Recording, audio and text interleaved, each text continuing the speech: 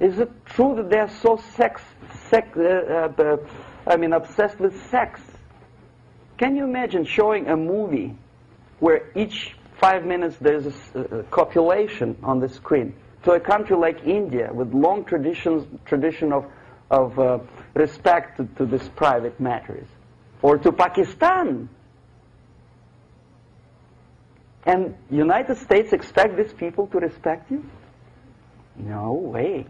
Oh yes, they will see the movie. They'll pay five rupees to see that garbage.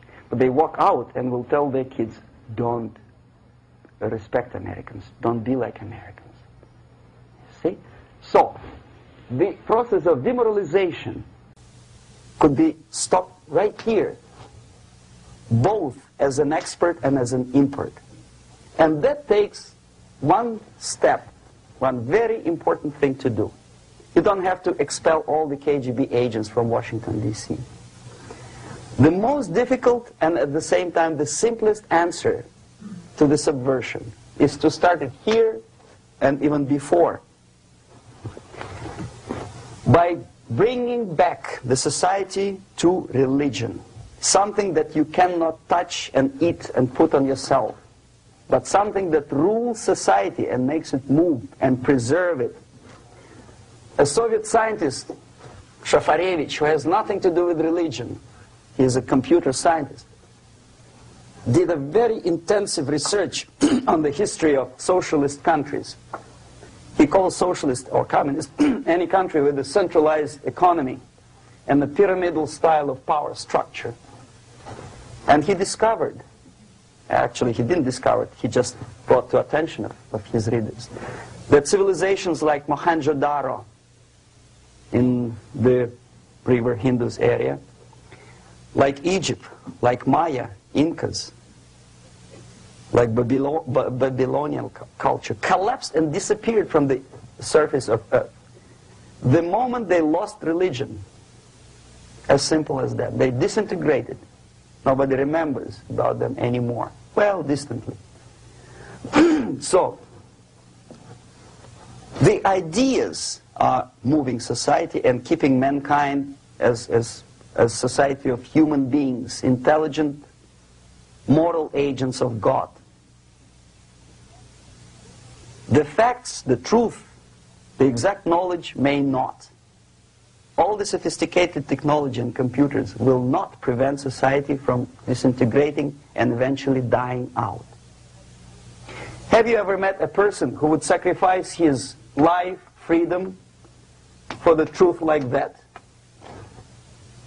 This is truth.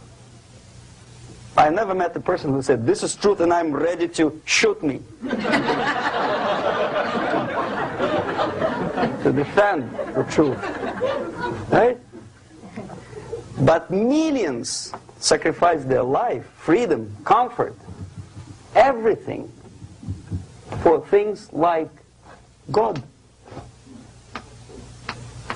like Jesus Christ. It's an honor. Some martyrs in, in the Soviet concentration camp died. And they died in peace, unlike those who shouted, long live Stalin, knowing perfectly well that he may not live long. something which is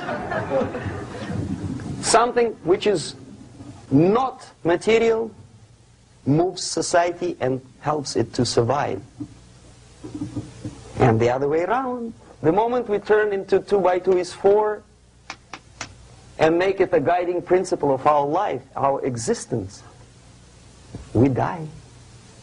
Even though this is true, and this we cannot prove. We only can feel and have faith in it. So the answer to ideological subversion, strangely enough, is very simple.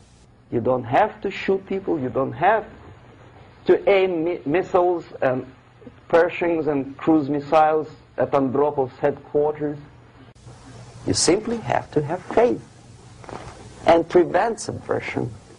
In other words, not to be a victim of subversion. Don't try to be a person who in judo is trying to smash your enemy and being caught by your hand. Don't strike like that. Strike with the power of spirit and moral superiority. If you don't have that power, it's high time to develop it. And that's the only answer. That's it. Thank you.